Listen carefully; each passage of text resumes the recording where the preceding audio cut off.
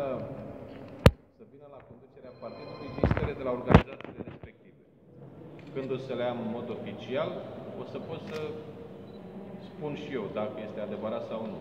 Am citit și eu în presă, la fel ca și dumneavoastră, și uh, când vor veni de la organizații, vom discuta în conducerea partidului și, așa cum scrie și la statut, Comitetul Executiv Național decide dacă un candidat propus de organizații județene poate rămâne pe listă sau nu. Dar dumneavoastră personal susțineți aceste nominalizări? Eu personal am spus mai devreme ce voi face.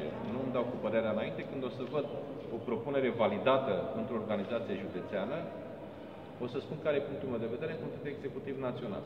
Vă întreb pentru că, de exemplu, domnul Căutiș a fost unul dintre criticii vehemenți împotriva dumneavoastră. Dar eu nu amestec Sau lucrurile.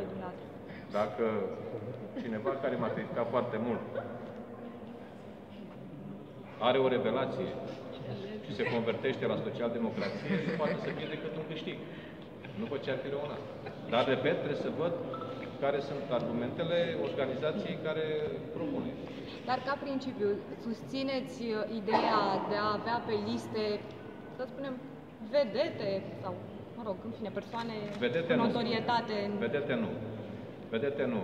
În schimb, ceea ce am spus la congresul din, uh, de anul trecut, din octombrie, când am spus și am cerut și, a început, și se întâmplă, se întâmplă deschiderea partidului uh, către alte persoane care nu erau sau nu sunt membri de partid, s-a întâmplat și la alegerile locale, se întâmplă și la alegerile parlamentare.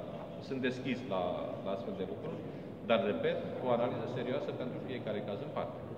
Domnule președinte, spuneați aseară la o televiziune despre mo- o posibilă moțiune uh,